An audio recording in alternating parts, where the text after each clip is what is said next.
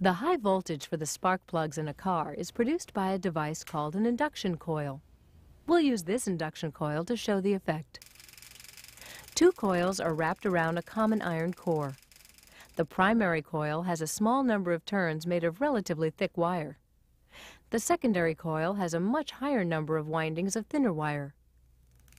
This is a magnetic make and break switch.